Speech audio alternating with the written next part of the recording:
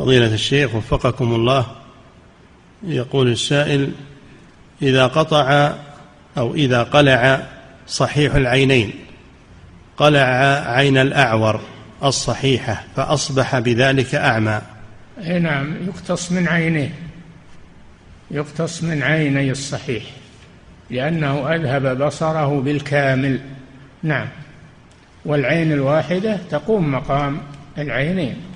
نعم.